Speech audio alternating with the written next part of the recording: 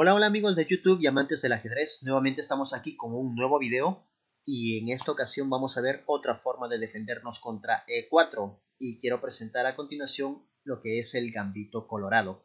Una buena defensa, una buena opción eh, contra E4.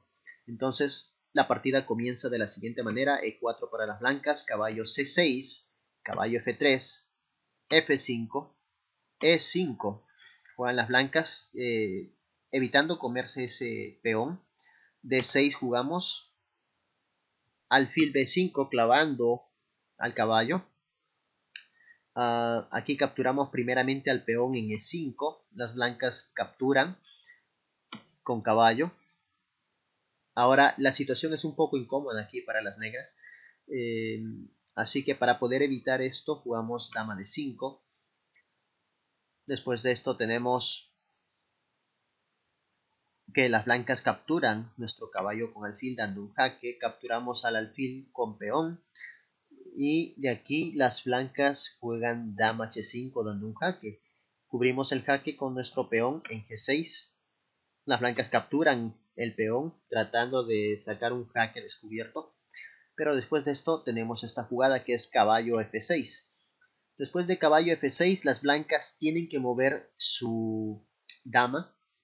Ahora solo podrían moverla a la casilla h4 o h3.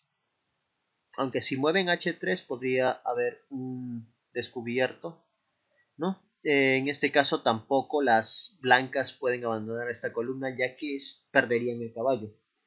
Y si se mantienen en esta columna, entonces el caballo no puede ser capturado, ya que si las negras capturan el caballo, entonces caería la torre. Bueno, en este caso las blancas juegan dama h4. Después de esto tenemos dama g2, tratando de capturar la torre también. Ah, las blancas tienen que decidir si salvar la torre y dejar caer el caballo o intercambiar torres. Eh, las blancas deciden capturar la torre con el caballo. Las negras hacen lo mismo, dando un jaque. El rey se va a E2 y de aquí en adelante viene una serie de jaques que va a conducir a un mate.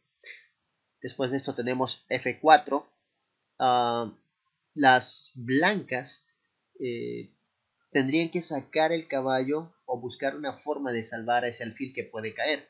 Entonces las blancas juegan caballo C3. De esta manera estarían evitando que el alfil caiga. Eh, pero sería un grave error ya que después de alfil G4 tenemos otro jaque. El rey blanco se va a D3. Después de esto tenemos dama F1, jaque nuevamente.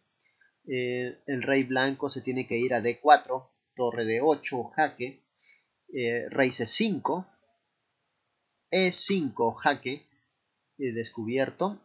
Tenemos aquí rey por C6, dama 6, jaque, rey por C7, es lo único que le queda. Y aquí viene el mate, dama B6 jaque mate.